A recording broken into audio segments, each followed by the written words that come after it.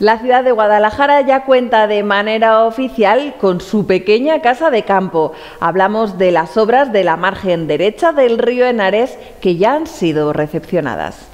Este miércoles se formalizó la recepción de las obras de la recuperación del margen derecho de la ribera de Lenares. El primer teniente de alcalde, Rafael Pérez Borda, y el concejal de Obras y Parques y Jardines, Jaime Sanz, junto con técnicos municipales y representantes de la empresa responsable de la ejecución del proyecto, visitaron la zona en la que se han realizado las citadas obras. Unas actuaciones que han afectado a un tramo de algo más de 1,4 kilómetros de la zona comprendida entre el puente árabe y el puente de la calle Julián Besteiro. Entre otras acciones, se ha instalado una senda peatonal de 1.487 metros de longitud y 2 metros y medio de anchura. Se han arreglado los caminos y sendas que conforman el corredor verde del entorno y se han habilitado zonas de ocio, merenderos, miradores y zonas de juegos infantiles.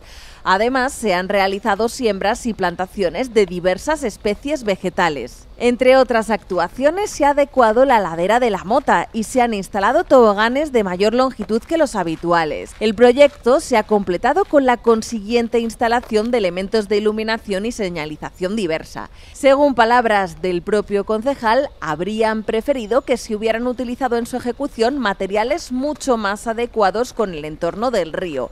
Como se recordará, las obras de recuperación del río forman parte de la Estrategia de Desarrollo Urbano Sostenible integrado, EDUSI, una actuación de algo más de un millón y medio de euros que está cofinanciada al 80% mediante el programa europeo FEDER de Crecimiento Sostenible 2014-2020. Con este nuevo parque que se integra en el de la Chopera, Guadalajara ya tiene, y permítanos la licencia, su pequeña casa de campo, un lugar que hace accesible la ribera del río Henares con una zona de ocio que ya pueden disfrutar todas las familias de Guadalajara. Un agradable paseo, disfrutar con los niños y los no tan niños de unos elementos de ocio y de gimnasia que ya están a su disposición. Tan solo se echa en falta un lugar abierto de restauración que dé servicio a esta pequeña casa de campo.